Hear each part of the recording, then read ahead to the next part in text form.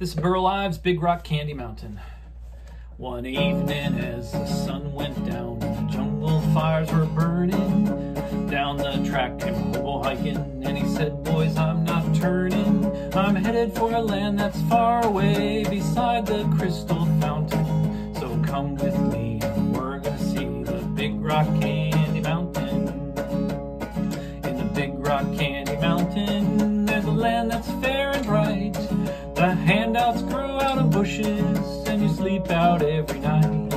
Where the boxcars are all empty and the sun shines every day.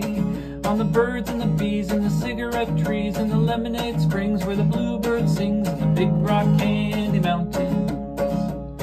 In the Big Rock Candy Mountains, all the cops have wooden legs.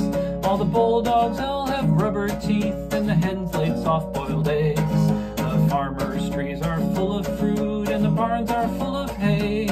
I'm going to go where there ain't no snow, where there ain't no fall and the winds don't blow in the Big Rock Candy Mountains. In the Big Rock Candy Mountain, you never change your socks.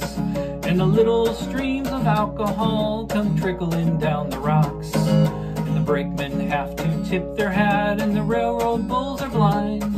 There's a lake of stew, of whiskey too. You can paddle all around in a big canoe in the Big Rock Candy Mountains.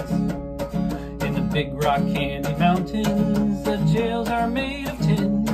You can walk right out of prison as soon as you are in. There ain't no shorthand shovels, no axes, saws, or picks. I'm gonna stay where you sleep all day, where they hung the jerk that invented work in the Big Rock Candy.